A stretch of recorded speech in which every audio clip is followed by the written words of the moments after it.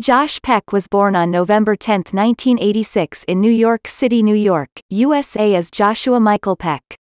He is an actor and producer, known for Ice Age, The Meltdown 2006, Drake and Amp, Josh 2004, and Red Dawn 2012.